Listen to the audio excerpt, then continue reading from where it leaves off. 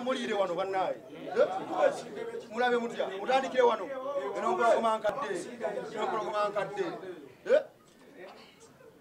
ono awedde. Eh, okyogamba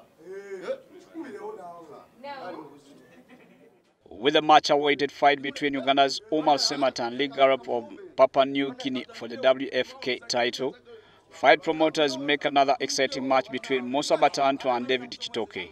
The draw meeting at the press briefing held at Mount Zion Hotel in Kampala raised their prayers as if they were set to step in the ring.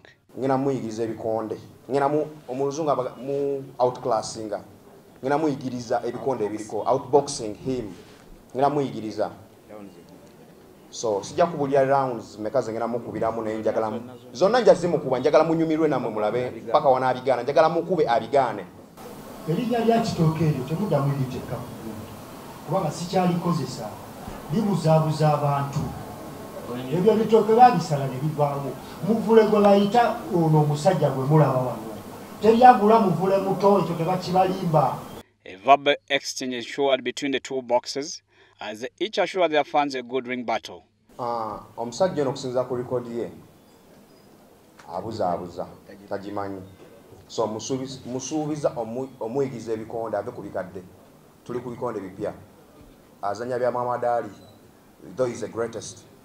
Naye likodi ye agambye nti alina fight 18 keos 1 wini nnya talina mudrolos 15 naye mba nga mbuzaabuziddwa wanted to make sure that everything is done on time, and therefore would like to assure um, the president and the technical committee and all uh, the body that is in charge of boxing that we assure you of the best and well organized event, not only the event but also taking care of the boxers to the best levels possible. Batantu, who has only four fights with two wins and two losses, promised to send Chitoke to his canvas, as he also plans to force him retire from kickboxing.